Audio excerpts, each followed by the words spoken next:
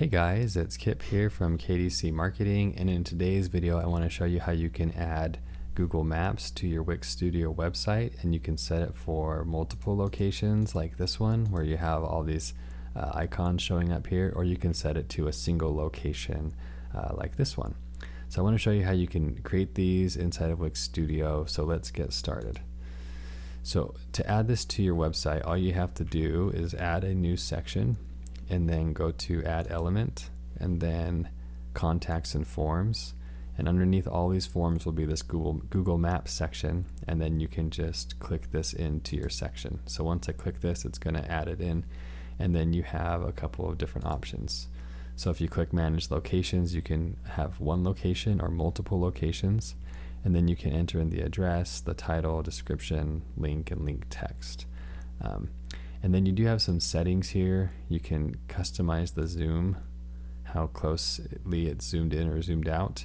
You can have it so that you can show map and satellite. The zoom control is over here. If you put this on, then it allows you to do the street view control. Um, this show directions link is going to be under your location you put in. And then the allow dragging is this full screen and dragging here. Um, so you can toggle all those on and off. The other cool thing is you can customize the design, so the map design itself. If you select one of these, this will become the new map design, and they have some uh, really cool options. They even have some satellite options down here at the bottom, or uh, these kind of options as well.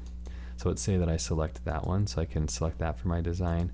I can also uh, select the pin design uh, on this element. So uh, let me go back to the pin design here. So this will allow you to select a different icon if you want to use a different icon.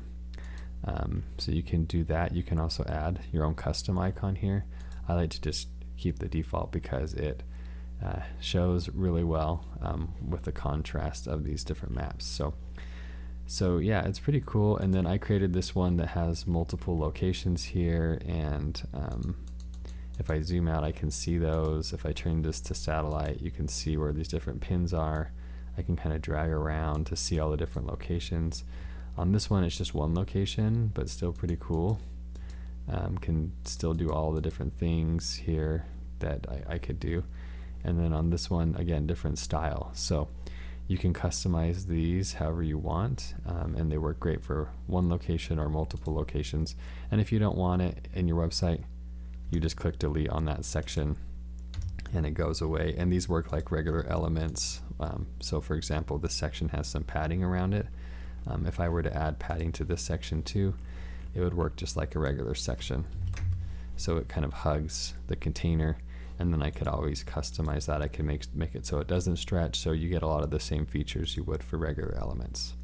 So hope you found this video helpful. And one last time, you just go over here to the Add Elements, Contacts and Forms, Google Maps to add these to your site and then you can customize them from there. So that's what I have for today's video and I will see you in the next video.